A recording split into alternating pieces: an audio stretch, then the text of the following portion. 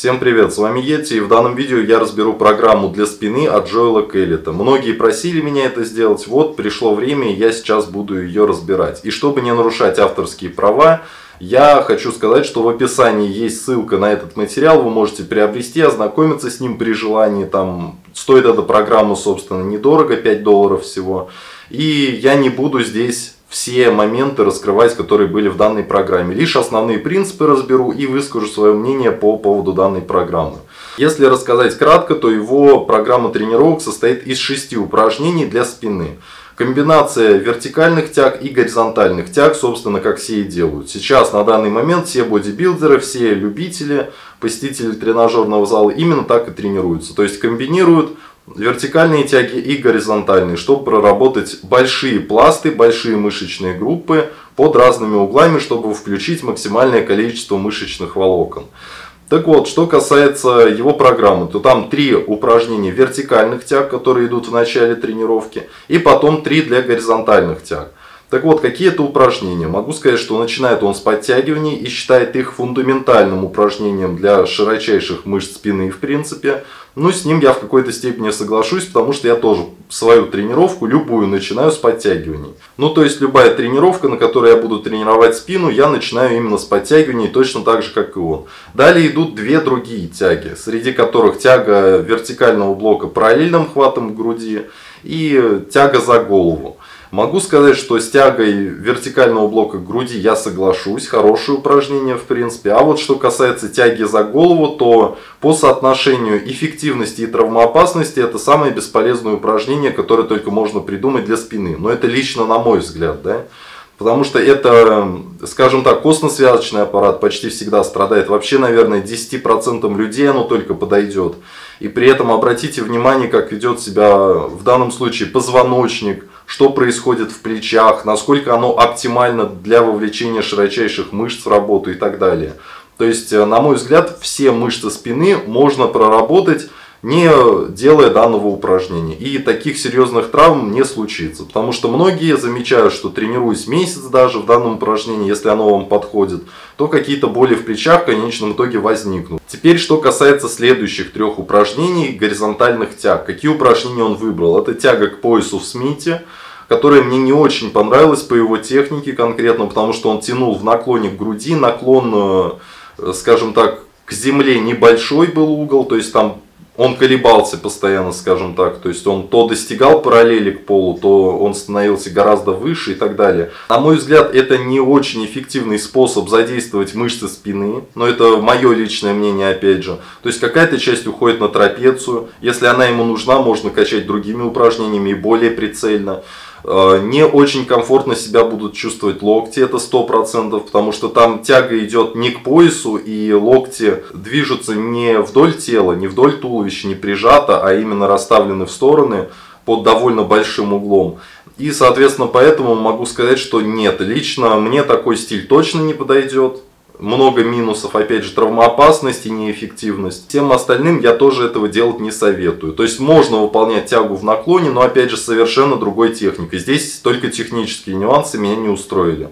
Теперь, что касается следующих упражнений, это у нас осталась э, тяга рычажного тренажера, он ее делал, я точно помню. Ну, то есть хаммер элементарно. Там никаких вопросов, в принципе, нет. И по поводу последнего упражнения тяга гантели в наклоне тоже все прекрасно, пойдет, нормальная техника там и так далее. Что касается общих рекомендаций по программе, которую он вводил. Во-первых, одним основным его принципом является растяжка, постоянная растяжка. То есть он тянется перед упражнениями, в середине подходов, в конце он всегда тянется, всегда тянет мышцы и старается использовать полную амплитуду движения. На мой взгляд, это не совсем верно, потому что это может повлечь за собой снижение силовых показателей, как показывают многие собственные исследования. Перед силовой работой желательно растяжку не делать а потом уже ее можно делать. То есть сдвинуть растяжку именно в конец своей программы или делать отдельным комплексом после уже всей тренировки в принципе. Но не делать этого перед силовой работой. Потому что когда мы приходим в зал, если мы отдохнули и восстановились, то наши мышцы находятся в необходимом тонусе с оптимальной длиной саркомера для сокращения, для растяжения. И не нужно их деформировать перед этой тренировкой. Чревато просто снижением силовых показателей и повышенной степенью травматизма. Это если вкратце. Поэтому перед силовой работой не тянем, после уже можно в принципе. Он рекомендует делать 8-12 э, повторений во всех упражнениях. За голову я удивлен, что в принципе можно тянуть вообще на 8-12. Я редко видел, чтобы это делали. То есть если и включают данное упражнение в свою программу тренировок, то делают, как правило, многоповторку, почти все. Но никто не рискует там брать какие-то большие веса. Что могу сказать по количеству подходов и стилю исполнения? Он делает один разминочный перед основной своей серией, то есть перед самим упражнением. Затем берет рабочий вес, но делает не до отказа, а с огромным запасом. А затем в двух подходах он выкладывается до отказа. И так он делает с каждым упражнением, по сути, только разница в том, что потом количество разминочных подходов снижается. Ну, например, там перед тягой блока груди параллельным хватом он вообще разминки не делает, в принципе, сразу переходит к рабочему. То есть рабочий не до отказа и потом снова два отказных. Таким образом получается 6 упражнений умножить на 2 это 12 подходов выполненных в отказ и 6 упражнений с тем же весом, но сделанных не до отказа, которые как раз идут перед этими отказными подходами. Вот такой тренировочный объем. То есть получается 18 рабочих подходов, из них 12 подходов в принципе сделанных в отказ. Что касается периодизации, он попытался создать какой-то аналог на четвертой или пятой неделе. Он говорит о том, что необходимо все-таки данную тренировку немножко изменить. Но как он ее изменил? Он просто заменил там упражнения. То есть элементарно поменял ну, например, подтягивание он, по-моему, как делал, так и делает. При этом поменял там на Т-тягу, например, тягу к поясу. Э, вставил туда пуловер и какие-то другие упражнения. То есть просто изменил комбинацию упражнений, заменил все те, которые он делал. То есть додумайте сами в своей голове, на что он там меняет. Ну и, соответственно, это делается в том же стиле и тоже число повторений. То есть он это называет принципом шокирования мышц. То есть здесь мы переключаемся на другую совершенно нагрузку на 4-5 неделе. Тело забывает, как делать те упражнения. Потом возвращаемся к программе и снова 4 недели делаем одну и ту же программу из 6 упражнений, которые я вам перечислял.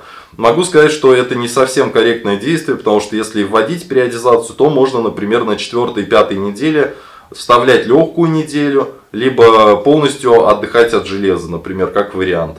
Как периодизация нагрузок это может рассматриваться. Но когда мы просто меняем упражнения, но делаем с той же интенсивностью, то же число повторений, тот же стиль, это не совсем я могу назвать все-таки периодизацией. То есть он это считает принципом шокирования. Не знаю, вам виднее, сами порассуждайте, будет это работать или нет. Нужно ли это на самом деле, принцип шокирования мышц. В общем, мое мнение по данной программе тренировок. В принципе, она приемлемая. Но вопрос в том, сможете ли вы 12 подходов сделать за одну тренировку. Я бы лучше разбил это, например, на full body, если хочется так делать, на 4 дня и делать каждый там по два подхода на спину, элементарно. Ну, мне кажется, так с данным тренировочным объемом справиться легче чем делать так много отказных подходов. Потому что учитывайте, что он рекомендует очень маленькое время отдыха между подходами в каждой своей программе. За такой короткий промежуток времени не получается восстановиться к следующему подходу, как правило. Либо тренировка очень сильно затянется, если вы сроки восстановления увеличите в несколько раз.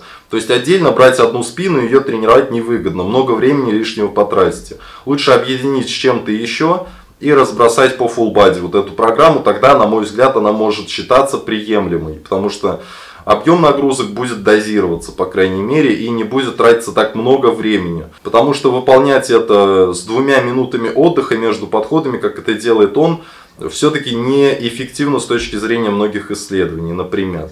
Другой нюанс касается того, что растяжку нежелательно делать перед тренировкой, начинать с нее, делать ее между подходами постоянно при этом. Желательно все-таки сместить к концу тренировки, как минимум. То есть в конце тренировки можно и в принципе применить полную амплитуду максимальную, попытаться в каком-то упражнении с небольшими весами опять же. И после тренировки тоже желательно очень хорошо растянуть мышцы. А делать перед тренировкой этого, конечно же, не стоит. Что касается такого принципа, как растяжение, на мой взгляд, это полезно для тренировочного процесса, но нужно делать это дозированно. А, в принципе, я разобрал данную программу, вам решать, может ли восстановиться при таком объеме нагрузок натуральный спортсмен, еще и прогрессировать. Пишите об этом в комментариях, задавайте свои вопросы, постараюсь на них ответить. В принципе, на этом все. С вами был Ети. До новых встреч.